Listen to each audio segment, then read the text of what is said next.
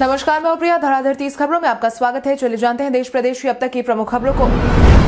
केंद्रीय स्वास्थ्य मंत्रालय द्वारा जारी आंकड़ों के मुताबिक भारत में पिछले 24 घंटे में दो लाख पचपन हज़ार आठ सौ चौहत्तर नए मामले दर्ज किए गए हैं। यह आंकड़ा एक दिन पहले पचास हज़ार एक सौ नब्बे कम है। यह लगातार पांचवा दिन है जब केस घटे हैं। 24 घंटे में 614 मरीजों की जान भी गई है और दो लाख सड़सठ हज़ार सात सौ तिरपन मरीज़ ठीक होकर घर वापस लौटे हैं। अभी देश में बाईस लाख छत्तीस हज़ार आठ सौ बयालीस एक्टिव केस है।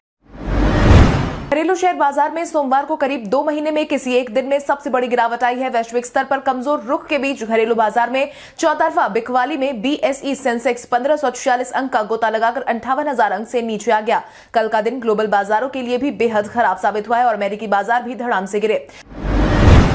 नॉर्वे में तालिबान प्रतिनिधिमंडल और अंतर्राष्ट्रीय समुदाय के सदस्यों के बीच चल रही बातचीत के बीच ओस्लो में विरोध प्रदर्शन शुरू हो गया है। इसी क्रम में नॉर्वे में स्थित अफगानों ने राजधानी ओस्लो की यात्रा पर आए तालिबान प्रतिनिधिमंडल के खिलाफ रविवार को विदेश मंत्रालय के कार्यालय के बाहर विरोध प्रदर्शन किया। इस दौरान दर्जनों पुरुषों और महिलाओं ने अफगान झंडे और तख्तियाँ उठा रखी थी, जिन पर लिखा था, फ्री आलिया अज़ीज़ और तालिबान को मत मान्यता दो, उनके हाथ खून से रंगे हैं।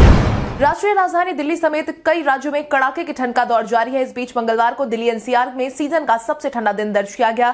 राष्ट्रीय राजधानी में मंगलवार को मौसम सर्द होने के साथ ही न्यूनतम तापमान सामान्य से एक डिग्री सेल्सियस कम, यानी कि छह दशमलव दो डिग्री सेल्सियस दर्ज किया गया। दिल्ली में सोमवार को अधिकतम तापमान सामान्य से सात डिग्री सेल्सियस कम, यानी कि चौदह दशमलव आठ डिग्री सेल्सियस रहा था, जबकि न्यूनतम तापमान आठ डिग्री सेल्सियस दर्ज किया गया था।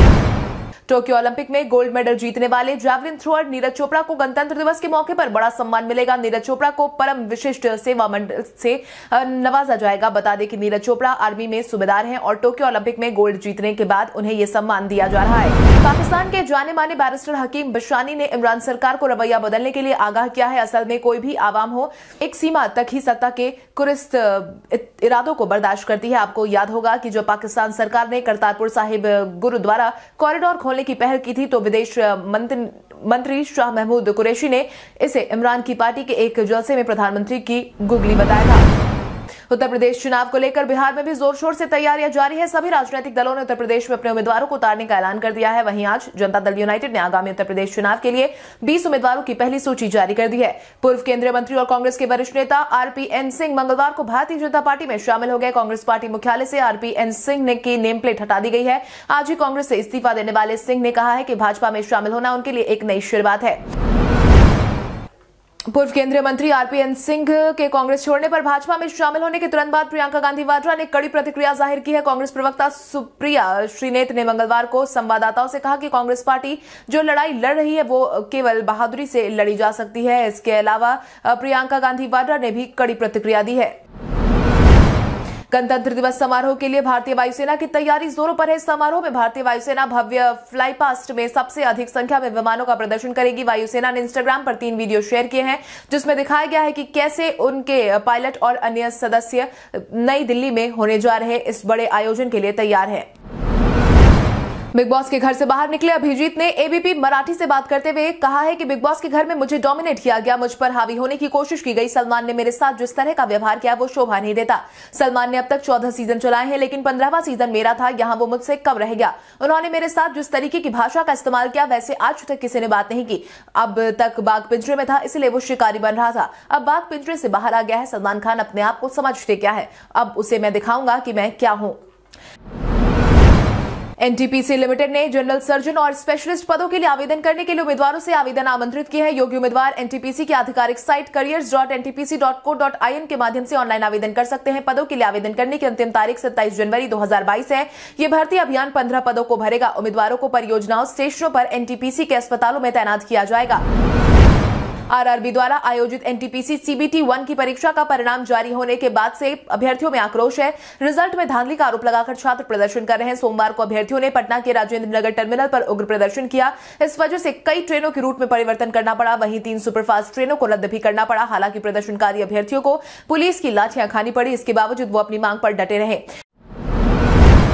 एलआईसी भारत में सबसे बड़ी और विश्वसनीय बीमा कंपनी, करोड़ों लोग एलआईसी पर भरोसा करते हैं। एलआईसी ग्राहकों के लिए कई तरह के प्लान निकालती रहती है ताकि लोग अपने वित्तीय लक्ष्य को ध्यान में रखते हुए अपनी पसंद की पॉलिसी चुन ले। इनमें से एक है एलआईसी जीवन प्रगति प्लान। इस प्लान की खासियत यही है कि आप बहुत छोटा निवेश कर लाखों रुपए का फंड बना सकते हैं। दरअसल आपको हर महीने छह हज़ार जमा कर अट्ठाईस लाख रुपए फंड बना सकते हैं। मुंबई में 18 घंटों तक पानी की सप्लाई को रोका जाएगा। बीएमसी ने हाल ही में जारी एक स्टेटमेंट में कहा है कि 27 जनवरी को मुंबई में पानी की सप्लाई को अवरुद्ध किया जाएगा। साथ ही बीएमसी ने कहा है कि सौ प्रतिशत पानी में कटौती होगी। बीएमसी ने एक स्टेटमेंट जारी कर कहा कि पानी की सप्लाई सत्ताईस जनवरी को सुबह चार बजे से अट्ठाईस जनवरी तक बाधित रहेगी। इस दौरान पानी की सप्लाई पूरी तरह ठप रहेगी।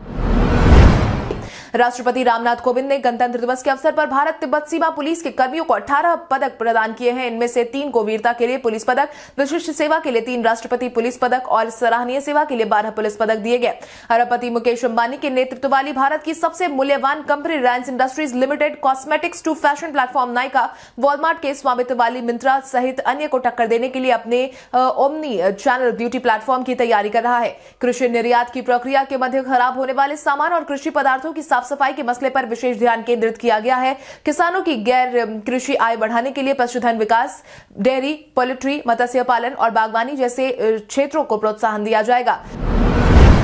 पश्चिम बंगाल के राज्यपाल जगदीप धनखड़ ने राज्य के नौकरशाहों पर निशाना साधते हुए कहा है कि वे कानून का पालन नहीं करते हैं और नहीं जानते कि गवर्नर हाउस क्या कर सकता है। मंगलवार को पश्चिम बंगाल विधानसभा में डॉक्टर बी आर अंबेडकर की प्रतिमा पर श्रद्धांजलि अर्पित करने के बाद मीडिया से बात करते हुए जगदीप धनखड़ ने कहा है कि मैंने बहुत कोशिश की है, हर कोई कानून के अनुसार काम करे। कर्नाटक के कॉलेज में हिजाब पहनने को लेकर उमजा विवाद अभी शांत नहीं हुआ है कि एक सरकारी स्कूल में नमाज़ पढ़ने का मामला गर्मा गया है। घटना एक सप्ताह पहले की बताई जा रही है। अब मामले में जिला प्रशासन ने इन दावों की जाँच के आदेश जारी किए हैं। इस घटना को लेकर स्कूल प्रबंधन को मिली भगत थी। आरोप है कि कोलार में स्कूल प्रबंधन ने स्कूली छात्रों को कक्षा में नमाज़ पढ़ने की अनुमति दी थी। किशोर बियानी की अगुवाई वाली फ्यूचर रिटेल लिमिटेड एफआरएल ने मंगलवार को उच्चतम न्यायालय का रुख करते हुए अनुरोध किया है कि तीन हज़ार चार सौ चौरानवे दशमलव पाँच छह करोड़ रुपए के डिफ़ॉल्ट के मामले में कंपनी को गैर निष्पादित परिसंपत्ति घोषित करने से उसके ऋणदाताओं को रोका जाए। इस महीने की शुरुआत में फ्यूचर रिटेल ने कहा था कि वो बैंकों और ऋणदाताओं को तय तारीख पर तीन हज़ार चार सौ चौरानवे दशमलव पाँच छह करोड़ रुपए की अदायगी नहीं कर सकी क्योंकि अमेजोन के साथ चल रहे मुकदमे के कारण कंपनी संपत्ति नहीं बेच सकी है।